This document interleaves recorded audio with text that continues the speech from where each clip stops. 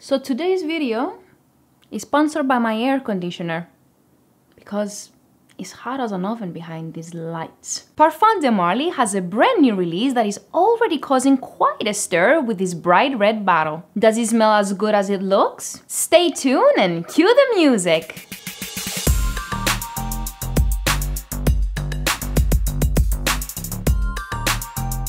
Hi guys and welcome back to my channel. If you're new here, my name is Andrea, also known as Curly Scents, and thank you so much for being here. Today, I'll be covering the newest release from the niche house of Parfums de Marly, and this one is called Kalan. Also, be sure to watch until the end of the video because I'll be giving away a sample of Kalan to one lucky viewer. Now let's kick things off with the presentation.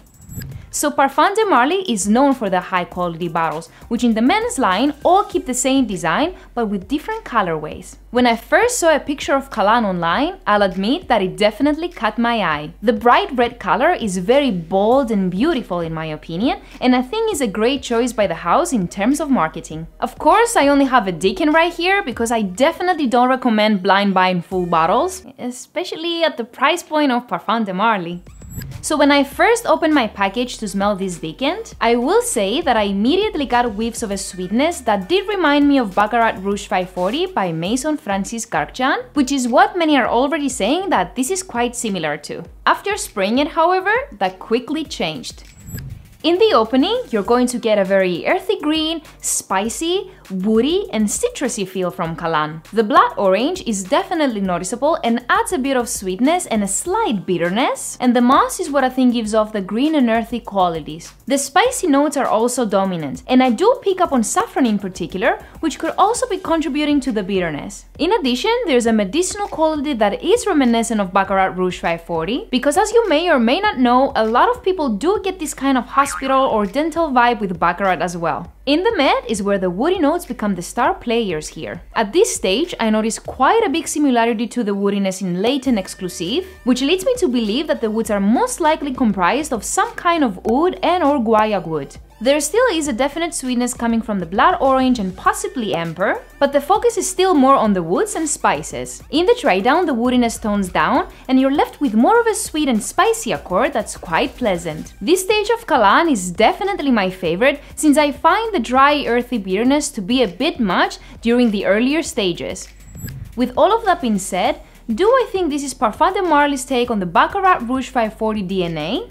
I think it's quite possible. Why? Because despite the complexity and various stages of Kalan, in the air, this one gives off a very similar overall feel to Baccarat. There's definitely much more woods and spices in here along with that mossiness, but people around you won't necessarily distinguish those particular notes. I think just calling it a masculine BR540, however, doesn't do either fragrance justice, but at the same time is somewhat of an accurate statement. I will say though, if you enjoy Baccarat Rouge 540, it does not necessarily mean that you will enjoy Kalan. In terms of performance, I'm getting about 8 to 9 hours of longevity with around 2 hours of moderate to heavy projection. In the first 30 to 45 minutes, this one projects extremely impressively. My friend said that she could smell me from several feet away while we were outdoors, which surprised me quite a bit. After the 2 hour mark though, I did find it to become a skin scent on me. When looking at seasons, I definitely think that Kalan fits best for fall and early spring. It's still quite hot where I live, and throughout testing it in the summer heat, I found it to be a bit overbearing. You could also pull this off in the winter because of the rich woodiness, but it does have a freshness to it that makes fall the ideal season in my opinion. I personally don't think that this is much of a casual scent, and I feel it will work best for more dressy occasions.